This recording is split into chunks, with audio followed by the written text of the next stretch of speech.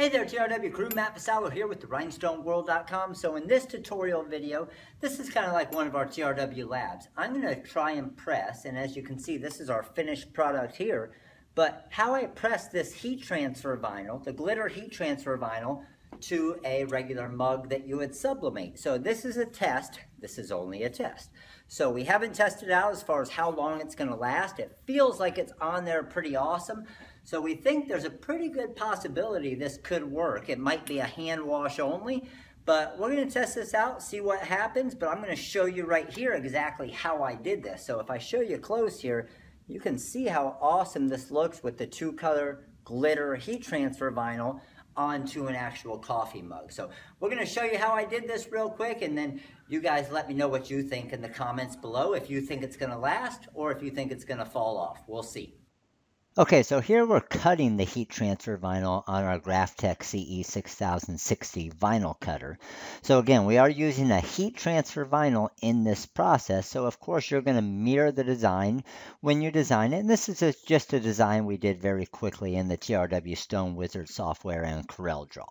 So once it's cut, obviously you need to weed the material. So you can see the weeding process is very easy. Now we did use a 60 degree blade and we had our settings right at about 10 grams of uh, downforce on the Graphtec CE6060.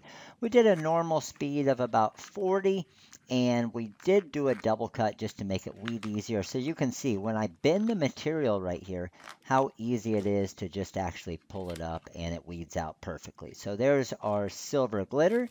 Now we have our red glitter of the design right here. As you can see, again, the weeding process is very easy once you do that double cut and you use that 60 degree blade. So anytime you're using the thicker material, you do want to use that 60 degree blade or the 65 degree blade, depending on what vinyl cutter you're using.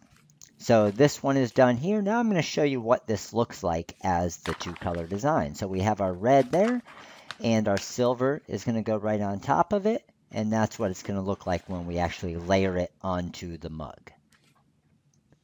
Okay, so now we're over here at our mug press, and you can see the settings I have. So we played around with the settings a little bit ahead of time. When we did our normal heat transfer vinyl settings, it wasn't set to a high enough temperature and we weren't pressing it long enough. It wasn't actually adhering to the mug. So you can see I have the mug and I just pressed the heat transfer vinyl onto it. I did use a little bit of our heat tape on the sides and I'm at 360 degrees for 30 seconds. So I sped up the video right here so you don't have to wait the full 30 seconds. But again, I was right at about 360 degrees, 350, 360, somewhere in that range.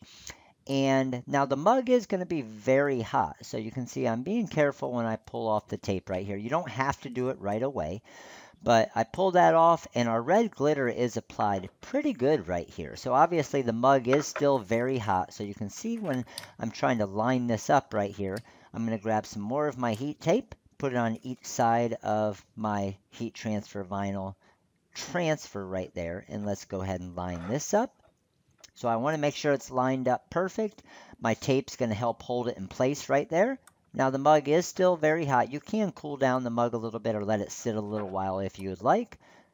And we are good to go. So now I'm going to put this back into our mug press as well. And you can see again, we're right around that 360 degrees for the temperature. And we're going to go 30 seconds again on this. So you can see, I'm going to go ahead and speed the video up again here so you don't have to wait the 30 seconds.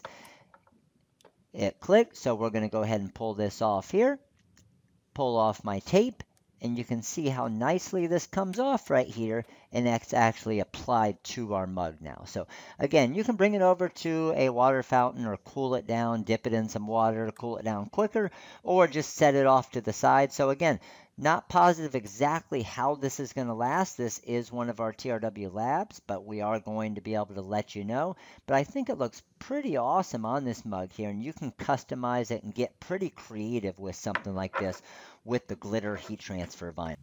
So again, this is our finished product here. Hope you all enjoyed the tutorial video. We'll update you here in a couple weeks and let you know how this is lasting through wash. we're going to try and hand wash first to see if that works, see how long that lasts. And then after that, if that works, we'll try some actual dishwasher as well to give you an update on that. So hope you enjoyed this tutorial video. Many more on our channel at therhinestoneworld.com on YouTube. Make sure to check them all out. Comment below. Let us know what you think of this video and let us know again if you think this is going to last or not. Have a great day, crew.